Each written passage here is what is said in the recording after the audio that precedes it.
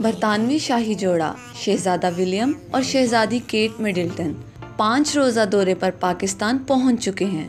جی آیا نو سونےو خوش آمدید۔ Welcome to our country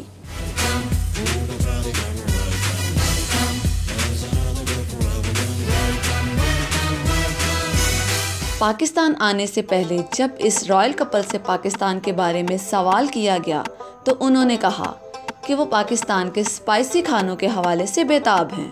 ایسا لگتا ہے کہ انہیں صرف پاکستان کے خوابوں میں دلچسپی تھی۔ اور لگتا ہے ہمارے ماڈل لنگر خانوں کی دھوم برطانیہ بھی پہنچ چکی ہے۔ اس کے علاوہ سوشل میڈیا پر جو بحث چلتی رہی، وہ یہ تھی کہ پاکستان کے دورے میں کیٹ کون سا لباس پہنیں گی؟ شہزادہ ولیم نے مذاق میں یہ تک کہہ دیا، وہ پاکستان میں کافی لمبا لباس پہننے والے ہیں۔ مگر پاکستان پہنچنے پر انہوں نے اپنا روایتی پینٹ کوٹ ہی پہن رکھا تھا جبکہ شہزادی کیٹ مشرقی لباس میں بلبوس تھیں۔ ہلکے فیروزی رنگ کا فراک اور پجامہ ان پر کافی جچ رہا تھا۔ انی تو لگ دی پنجابن لگ دی پٹولا لگے نی تو ساریاں تو وکھ نی تینو سوٹ سوٹ کردا۔ جی بالکل انہوں نے پنجابیوں یعنی پاکستانیوں کے کلچر کی لاج رکھ لی۔ کیونکہ اگر شہزادی سکرٹ یا کوئی مغربی طرز کا لباس زیبتن کرتی تو بھی ان کا کوئی کیا بگاڑ سکتا تھا؟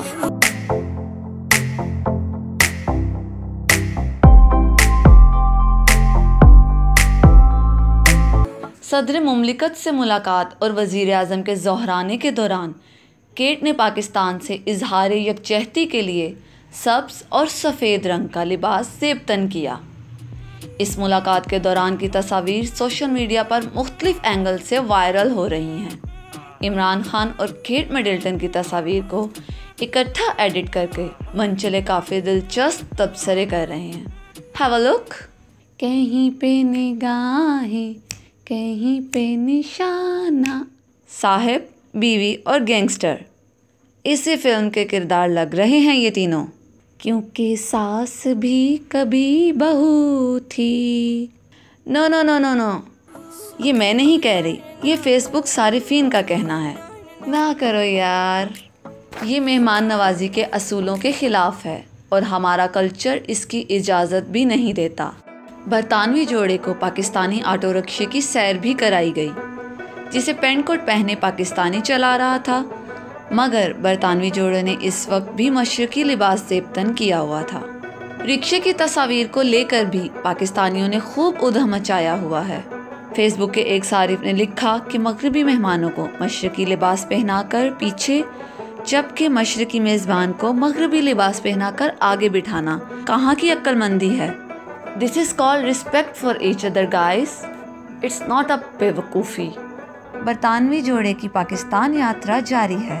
اور اس دورہ پاکستان میں رائل کپل کو چترال کی سیر بھی کروائی گئی۔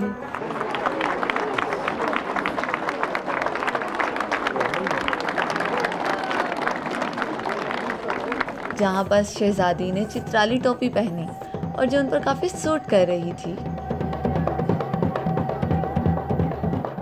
شہزادہ اور شہزادی نے لاہور کے نیشنل سٹیڈیم میں کرکٹ کھیل کر یہ بتایا کہ صرف آپ کے وزیر اعظم کو ہی کرکٹ نہیں کھیلنی آتی، ہم شہزادیاں بھی اچھی کرکٹ کھیل لیتی ہیں۔ شہزادی کیٹ نے اس مہمان نوازی پر پاکستانیوں کا اردو میں شکریہ بھی ادا کیا۔ آپ سب کو شکریہ۔ بہت بہت مبارک ہو۔ برطانوی جوڑے کی پاکستان یاترا تو مکمل ہو گئی ہے۔ وزیر اعظم سے ملاقات کے دوران شہزادی کیٹ میڈلٹن کو مرغی، انڈا و بھینس بکری کاروباری پالیسی کی کامیابی پر بھی بریفنگ دی گئی، جسے سن کر وہ کافی مسکرا رہی تھیں۔ سنا ہے ہمارے وزیر اعظم نے ملاقات کے دوران اپنی ایک کروڑ نوکریوں میں سے شاہی جوڑے کو نوکری کی آفر کر دی ہے اور کہا ہے کہ برطانیہ میں آپ کے پاس کوئی کام تو ہے نہیں، تو ہمارے پاس آ جائیں۔ کیونکہ یہ ملک بہت جلد ترقی میں برطانیہ کو پیچھے چھوڑنے والا ہے۔ Thanks for watching the video and for more stay tune to Shararat T V goodbye